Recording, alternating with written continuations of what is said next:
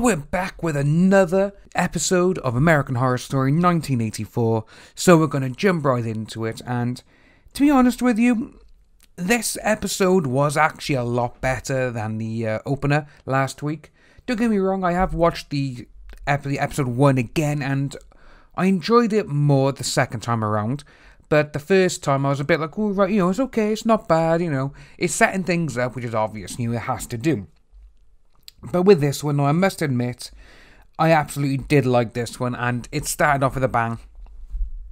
And I thought that was brilliant. Again, you know, it opens the usual, you know, the synth soundtrack, which is now uh, going for the series, well, for this episode, this season anyway. Obviously, being the 80s, and a lot and lots of other 80s properties are now using synth and all that, which is good. And Synthwave's making a massive comeback anyway. But yeah, so we open up and we see Karen, the doctor, who is uh, told that obviously uh, Mr. Jingles has escaped. And we see that she actually has gone to the camp and she is there to warn Margaret to let them know, obviously, that Mr. Jingles has escaped and the camp should be closed. But obviously, well, Margaret being Margaret, she's like, no, it's going to stay open basically the stupid, you know, the stupid plot that normally goes with these kind of things. But it was good the way it was done. Obviously, with all this that has happened, you do see now that Karen, she goes out in a car and she dies. You know, the kill is not exactly a bloody kill. You know, probably say the most graphic part of it is, is that you do see Jingles cut off her ear. And obviously it goes into the opening, which again, as I was saying, it is growing on me. And I'll uh, probably like it better towards the end. Obviously, then afterwards, then we do see that it actually cuts back to the lodge where everyone, so all the guys and the girls, you know, they're all having beers and everything else, having a good time. Obviously, the night before the big opening, you know, that sort of thing.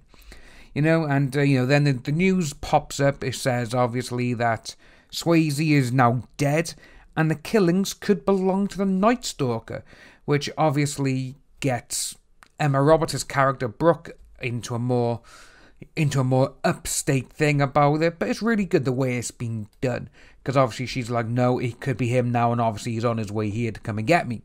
But everyone's like, oh no, don't be stupid. Margaret comes back in, and you know she's like, oh, you're all gonna sin. You've all been, you've all been together. You're drinking temptation, all this stuff, and she tells them all to get out. Well, the guys to get out. She's like, right, all of you get out, go shower, because obviously this is wrong and the camp opens tomorrow and lights out in 10. So obviously they all, uh, they all leave. Brooke and Montana, so Billie Lourd's character, you know, they're together and uh, they're talking about certain things, talking about obviously Mr. Jingles and uh, everything else, and the Night Stalker. And this is when we find out what the ring is that Emma Roberts had in the first episode, which is the one the Night Stalker uh, tried taking. And it shoots back to last summer, so 1983, and it shows Brooke uh, is about to actually be married. So she's there at the altar and everything else. And to be honest, she was a good little, uh, good little uh, segment basically to put in here to show the history of what's happened. And straight away, the wedding turns into a bloodbath. She's up there, you know, her uh, fiance's there, who's looking at her and everything else. And the priest goes, obviously, you know, do you take so and so to be your wife. And he doesn't say anything then, and he looks for his best man. They have an argument because the best man stayed the night before at Brooke's place, but they're just friends. Obviously, she's like, no, nothing, nothing's happened, nothing's happened. And all of a sudden, the music changes to White Wedding, which I thought was brilliant. And, well, the groom shoots the best man, then he shoots the father of Brooke, and then he shoots himself. So it kind of turns into a little bit of a massacre, and that's where we find out. Uh, then we see Billie Lourd as she may be bisexual. We're not too sure yet because of what's happened. And we see her trying to kiss Brooke, and she's like, no, no, no, you know, not that. You know, anyways. So there's that part there. But, you know, it does just.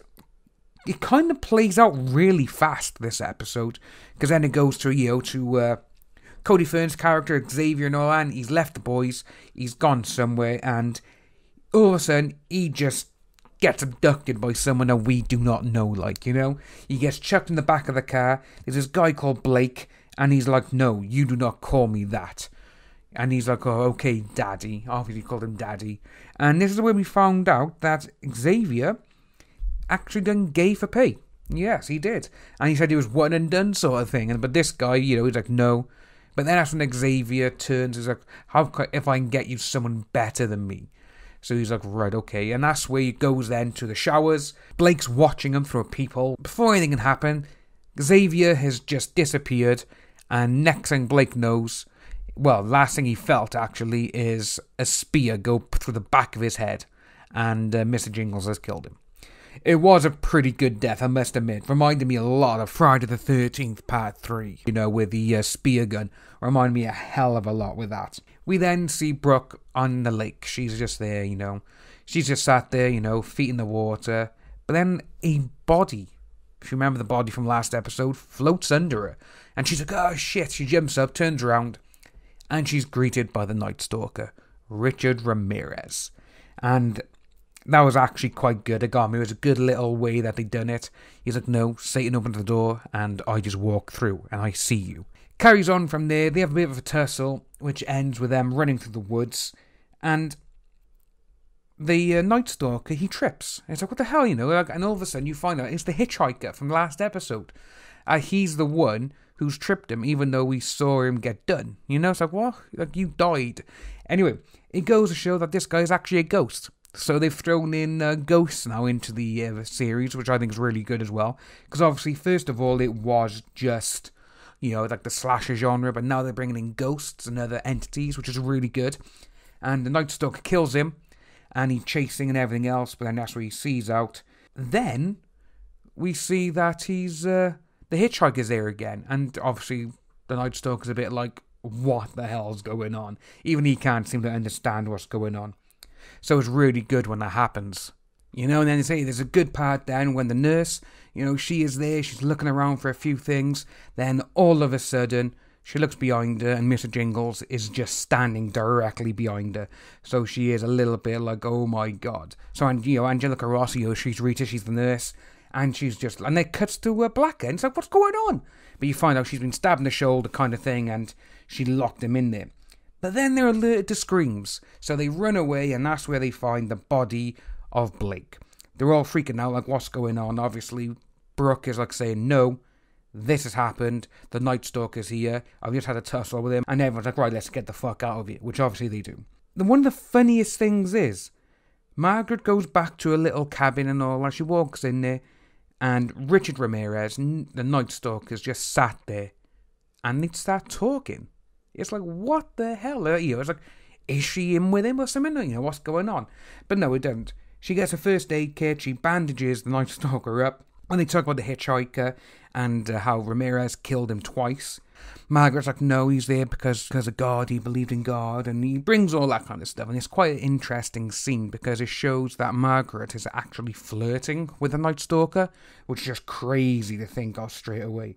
And it goes back to a little bit of a origin story actually for the Night Stalker. You know, they show him, you know, when he was young, he had seizures because he got hit on the back of the head with a swing, and uh, his cousin was back from Vietnam, and uh, he was, you know, he says he was a Green Beret, and he's the one who, you know, he actually witnessed his first murder by his cousin who killed his wife in front of him, and he, he you know, he must have been no younger than ten. So obviously he was a bit like, you know, he's told Margaret all of this as well, and he also tells her that he's come back for Brooke. So she's like, right, I need to find this mi- missing counselor. But uh, she tries to, she tries to get Night Stalker to convert to loving God, which is weird, you know. But uh, it's then it obviously cuts forward straight away then to the van where they're all trying to get in, and this is when um, they start the van. But this is when Rita jumps in front of them, and you know obviously causes the van to swerve and crash again. And now they're like, right, okay, we need to. Uh, need to do this now. We need to get keys because Trevor, Matthew Morrison's character, he's his keys are actually back at the lodge. So a group go with him, and then a group go with Rita to get her keys from the infirmary. So two groups split up. Who's going to die first, like you know? And they go their separate ways. That is when they both start getting done on the doors. You don't know which one's at him, and it's like, is a Night Stalker going for Brooke, or is it Mr. Jingles, or is it the other way, way around? And that's when he just cut the black. And it was actually a really good episode, I must admit. Overall, I actually really enjoyed it, and we've got to see a little bit more of all the characters. But I say I will admit, the wedding of Emma Roberts' character, that's just, I was like, oh my god. You know, that literally shocked me because I didn't think anything like that would happen.